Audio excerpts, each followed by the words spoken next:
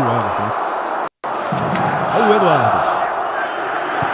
Vai saindo pro jogo o Atlético. Tá desarrumada a defesa do Vasco. O Walter já viu que tem companheiro solto lá na esquerda. Bola para ele, o chute pro gol do Atlético!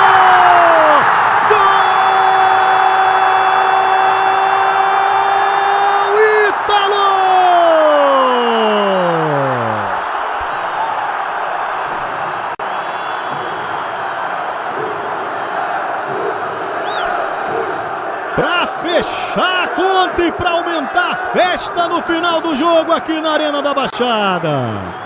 O Vasco foi para frente, se soltou, procurou